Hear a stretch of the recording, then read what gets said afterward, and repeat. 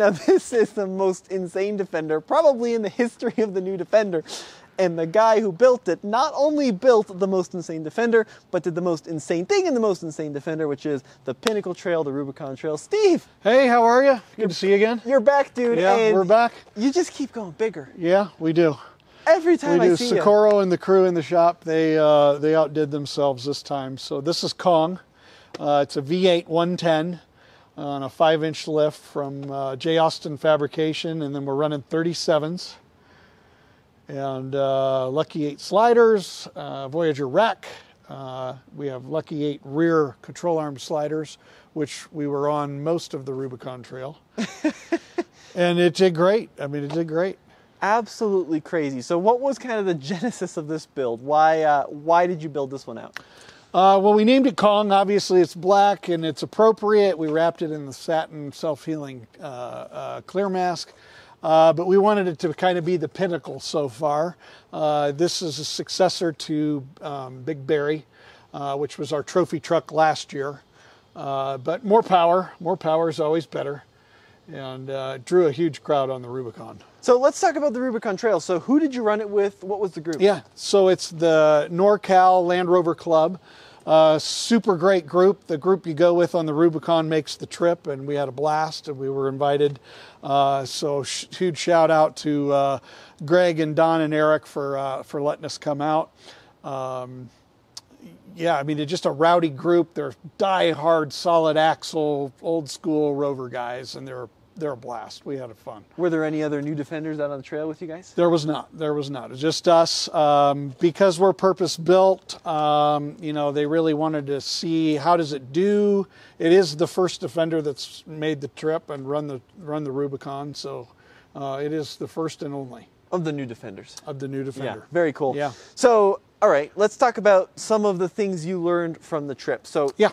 Five inch lift to fit 37s. Can you explain again how you lift a new defender? Because it's not body on frame. How do you get that lift? Correct. So it's a subframe lift. Uh, so it's basically um, uh, built and manufactured to sit on top of the front and the rear subframe, uh, which you could also call a body lift, kind of one and the same thing, but it gives you additional ground clearance uh, when you do that.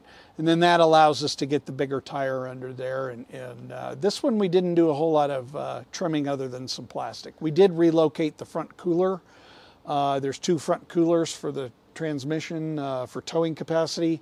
We went down to one cooler underneath the engine, and uh, um, that allowed us to improve our approach angle and get get up on the rocks with the tires. So, when you're doing that subframe lift, or, or maybe like another way you could look at it is like you're dropping the subframe underneath the body. Right. Um, do you have to like reposition the transfer case? And no, Okay. no, all that stays completely stock. So there's no additional stress other than tire size on the on the factory geometry. Interesting. Yeah. Okay, so that's how you fit. So it rides completely stock. oh, does it really? Yeah. Do you have like lift rods on the on the air suspension? No lift rods on this one. Um, so you can do up a one, a one and a half, or two inch lift rods. Um, that kind of tricks the airbag as to where neutral is, Yeah. standard ride height.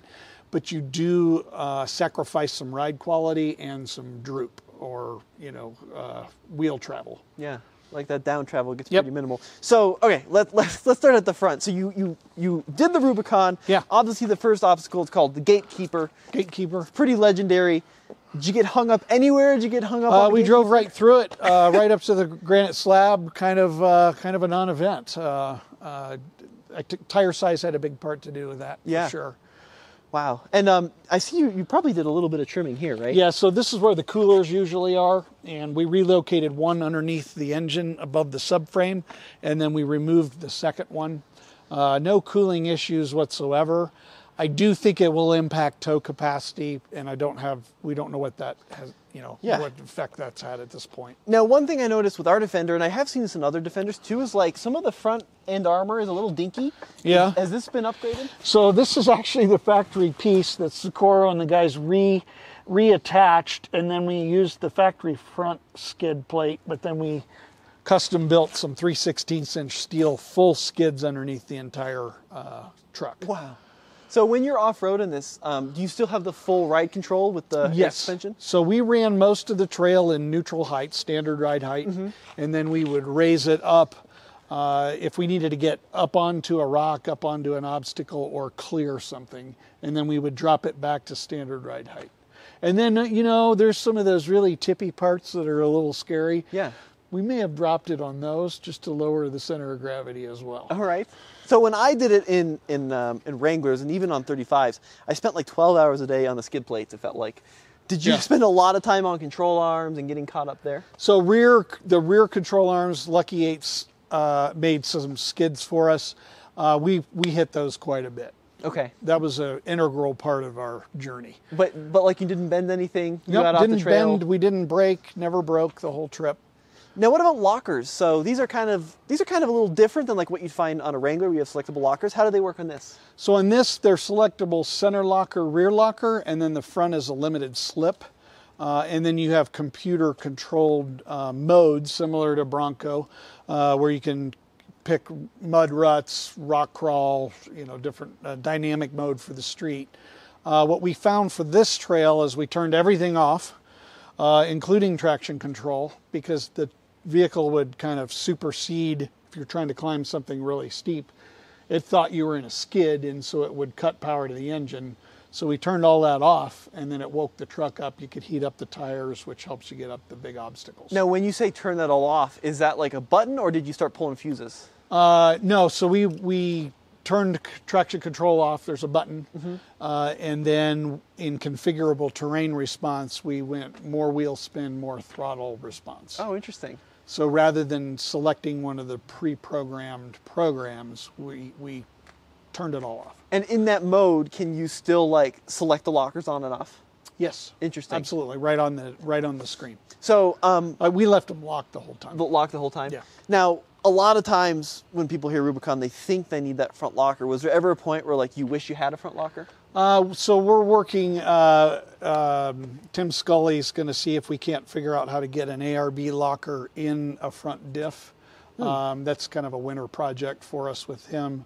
Um, I mean, we we ran everything without it, so uh, we didn't need it. But Yeah. I'd like to have it for uh, kind of the big step ups. That's kind of where you really need that. Right. And usually you turn it off anyway.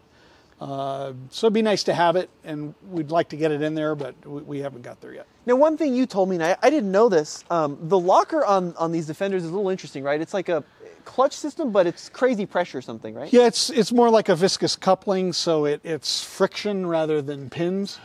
Um, so it can slightly not be engaged to engaged, and I, I, the engineers could tell you, but nanoseconds probably. Yeah, right. Fair enough. Um, now let's talk about the powertrain a little bit. So you spend a lot of time with every Defender, four cylinders, the Yeah, inline six, the yeah. V8. Um, was the V8 the right choice for this rig? Uh, the the six is great. This is more greater, er, er, more better. Er. Uh, you know, more power is always better. So I, I, I love V8. So it would be my choice. And we'll have to get a sound clip, sound clip after this. Yeah.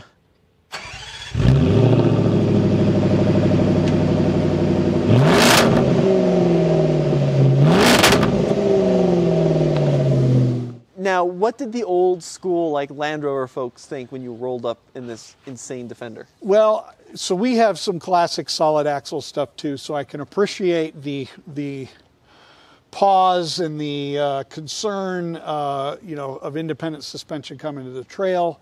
Um, there was certainly some of that, and uh, you know, we ran the whole trail. We have a little scuff on the Yeah, look at that. very minor there and a little one up on the front. That's it. Uh, never broke. Um, and we ran all the same obstacles everybody else did. So, I mean, I guess that's kind of the answer is it does it. But you had Uh. ventilated seats and Apple CarPlay and Refrigerated glove box. I did point that out on the trail on the radio regularly. freaking awesome. Now, I, I just love this. I think this is really cool. Um, what are some of like the pros of doing a build like this to a new Defender, and then what are some of like the limitations? Uh, limitations you raise your center of gravity, you do impact your tow capacity. So it's 8,200 pounds prior to what we did. and your uh, approach departure angle and side hill are 45 degrees stock. Yeah, it's pretty amazing. I can tell you at 36 degrees, your seat of pants does not feel so good. uh, so I can't imagine doing 45 degrees anyway, but I'm sure that we've impacted that. Okay, fair enough. And then, um, what are some of like the great things about the new Defender platform? What have you discovered? You know, it's super capable. We proved that. You know, we ran the Rubicon with those guys. Um, it's an awesome overlander. Uh, the Voyager rack holds uh, 1,000 pounds, so you can get a rooftop tent up there if you want. Um, you can actually sleep in the back if you like. The 130 is the longer version coming out, so that'll give you even more room. I think you'd agree with me. It's super easy to clean inside. Yeah, it's great. Uh, probably my favorite part. Um, you know, tow capacity is 8,200 pounds stock. Um, three engine choices: a two, a, a six. Or I mean, a four, a six, and an eight. Um, What about like, and this is the most interesting thing about the Defender, which I was totally proven wrong about, like um, part availability from the aftermarket. Is it pretty big? How does it compare to like the Wrangler world or the Bronco world? Uh, significantly smaller for Okay. sure. So Lucky Eight is kind of one of the forefront guys uh, or companies out there.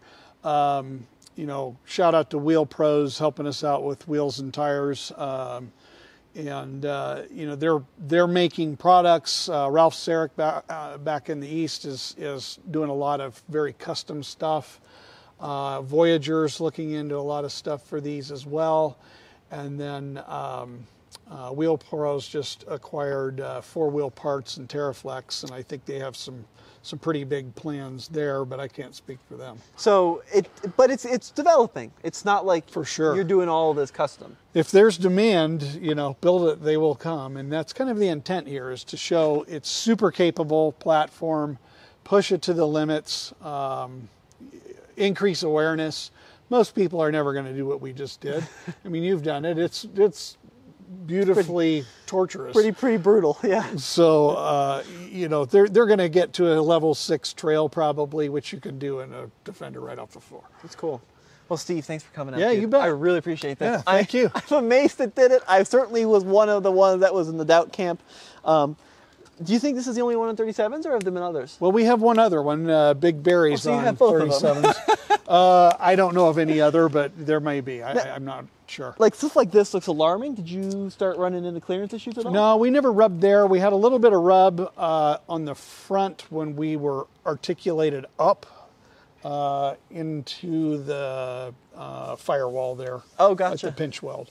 And honestly, we that's something we can trim back, um, you know, and, and improve the way we have it right now. Sweet. Well, dude. And it, by the way, if you are looking for a Land Rover, Land Rover of Denver is is the go-to guys when it comes to anything Land Rover. They they they, they run the gamut from on-road to off-road. So check them out. All right, dude. Thank you. I appreciate it. you bet. This is Thanks. fun.